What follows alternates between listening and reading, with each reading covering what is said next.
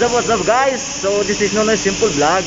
So mayroon naman po tayong ipapakita sa inyong video kung paano natin bubutasan ang precast na ganito kakapal. Okay?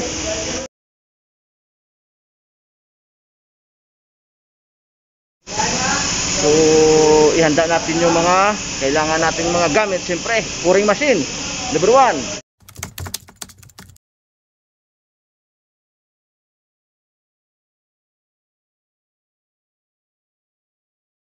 Scaffoldings number 2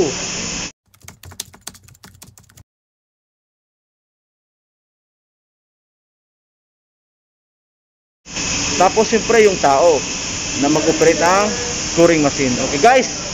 This what's it